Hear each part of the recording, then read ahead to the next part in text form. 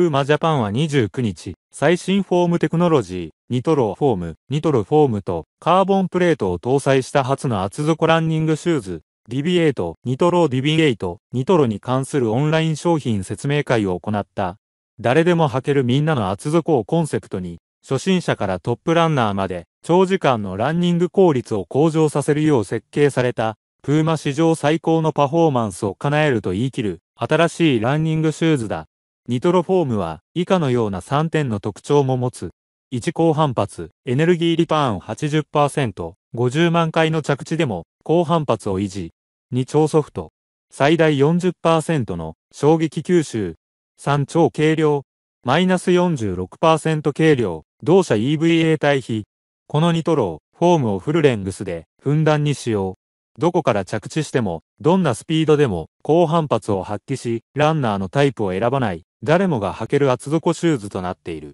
この自信作を同社と契約するフィギュアスケートアイスダンスの村本なり、中、かな、高橋大輔ともに、関大 KFSC 組がインタビュー動画で登場し、紹介した。村本履いた時の反発する感じとか、クッションがすごい。高橋ウォームアップした時、めちゃくちゃ反発してくれて、足運びがすごい良かった。全然沈まない。体が動いてくれて、勝手に温めてくれる感じで、すごい良かったですよ。村本たくさん試合とかも増えると思いますし、トレーニングとか、アップとか、いろんな世界を、この靴で走りたいな、一緒に走りたいなと思います。高橋これから試合も増えていきますし、これを履いて、これに助けてもらいながら、トレーニングだったり、アップだったり、やっていきたいな。さらにアイスダンサーにとって、ランニングはどのような位置づけで言っていますか？との質問に、こう答えた。高橋カップルによると思いますが、僕は試合や練習前に自分のコンディションや体の動きを確認する場として走ります。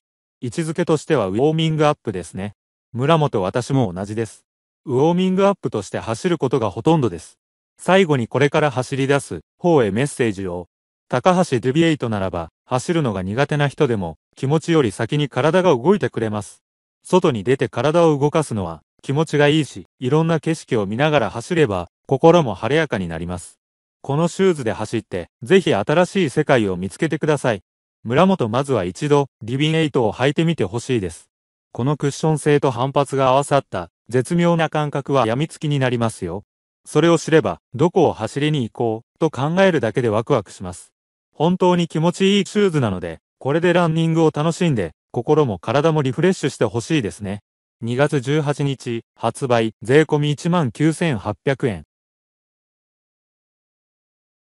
次のオーディオビデオでお会いしましょう。